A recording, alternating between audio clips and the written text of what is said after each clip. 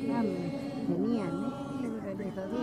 Por acá, tanto para el dolor, era para el dolor, pero eso, para dolarme nomás. Y yo para acostarme no puedo apagarme mi espejo, tengo que ir con cuidado y